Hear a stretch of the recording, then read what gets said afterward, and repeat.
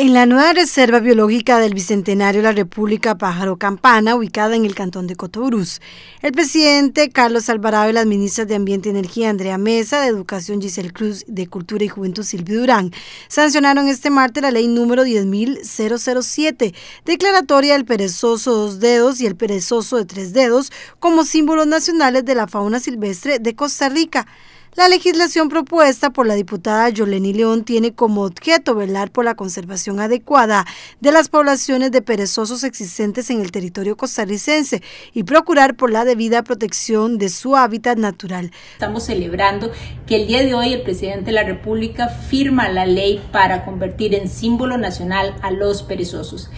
Parques nacionales son la casa natural por excelencia de esta especie. Y es una reafirmación, un compromiso importante donde estamos diciéndole a la sociedad y al mundo entero nuestro compromiso total y absoluto, no solamente por proteger esas diversas y grandes áreas protegidas que tenemos, sino también todas las especies que ahí conviven. Durante la firma de la ley, el mandatario estuvo acompañado además por los directores del SINAC, Rafael Gutiérrez, y el regional del área de conservación La Amistad Pacífico, Ronald Chang.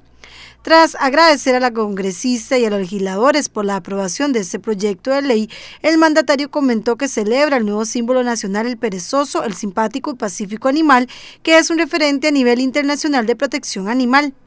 Alvarado comentó que en este año del Bicentenario el oso perezoso se convierte en el cuarto símbolo nacional de nuestra fauna,